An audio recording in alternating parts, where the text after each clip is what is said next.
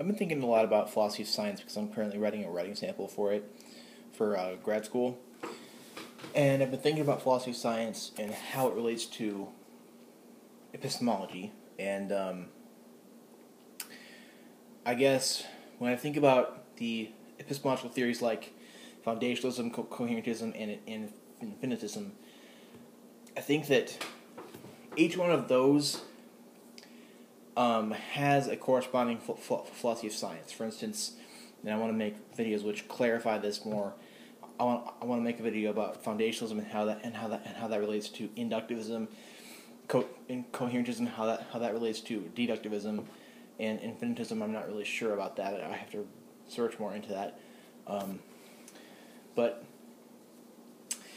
you know, um, foundationalism relates to um, in to inductivism because induction is about um, you know the um, inductivist um, like um, gosh, uh, Putnam Putnam uh, criticizes criticizes Karl Popper. Karl Karl Popper is a de- is a deductivist, and um, power went out a little bit. Oh my gosh! Yeah, yeah, it did. Sorry. um, anyway, um, found a, a, a foundationalist, which is like holding basic beliefs, um, base or beliefs that are freestanding and don't need justification outs, outside of itself. Uh, beliefs that can be the foundation of one's system of, of beliefs. That relates to inductivism because the inductivist um, goes about um, goes about um, verifying statements, verifying scientific statements um, through verification, and verifying them through uh, through observation. Now, the foundationalists, well, most of them anyway, are going to put at the foundation most of what comes through uh, through observation um, or sense data. People like Rudolf Carnap and Moritz Schlick, the uh, of the logical of the logical po- positivist era. Um, that's what they held. Uh, that sense data is the is the foundation. Observation is the foundation for all for all of science. Um, so verification, they they they they verify a, a, a scientific statement as being true or false uh, by you know um, whether observation confirms it or or not. Um, and they go through science in a in a inductive in a in a in an inductive fashion, and induction being um, in inferring things by what we see. You know, um, induction is a form of logic which you go from more specific things, more specific premises to um, to um, uh, more general uh, con- conclusions. Um, and that's what inductivism is. It's um, verifying scientific statements through observation, and um, and this is just a very brief, you know, going over it, like very very like scratching the surface of this, um, and inferring things from what we have in uh, in um, observation, which is obviously the the foundation of our system of of beliefs. So foundationalism in epistemology relates to into inductivism in in uh, in um, philosophy of science.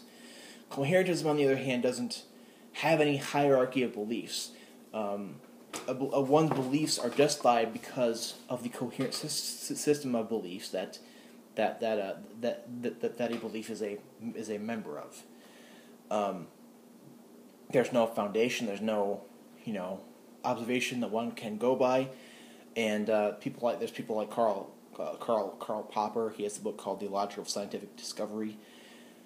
He goes by, or the the coherentism I think relates to deductivism and false and fa- falsification rather than verification.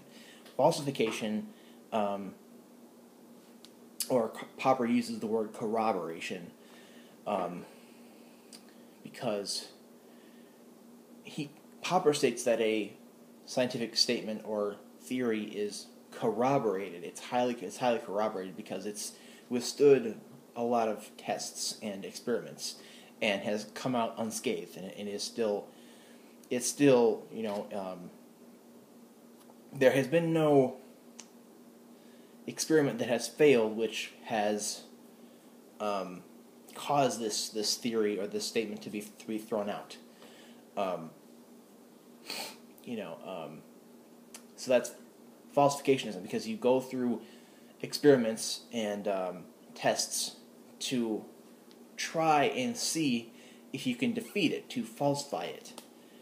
And a a statement or or a, a scientific statement or theory is highly corroborated if if if if it if it has withstood a, no, a number of these things.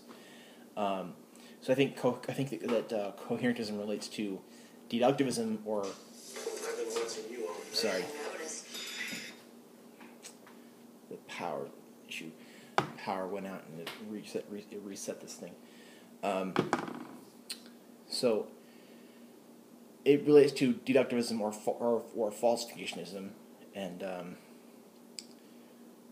that's how they relate. Now, infinitism, I'm not sure how that works. I would have to, I'm gonna have to read in more into Peter Klein, who is a infinitist epistemologist, um, and see how that and see how that relates to to to philosophy of science. But I think that on epistemology determines a, a philosophy of science. So this is a bit of a methodological consideration. But the issue is should it should should epistemology be first, which determines the philosophy of science or the how and what of gaining more knowledge and growing our knowledge, or should figuring out the how and what of science be first and then the epistemology follow? That's the that, that's that that's the question. So, um, that's kind of what I'm thinking about here. So if you have if you have a question or if you uh, if you want to talk about something or if you think I've if you think I've messed something up or misconstrued misconstrued something, please comment below. I'd love to discuss with you. And uh, th- thank you for watching.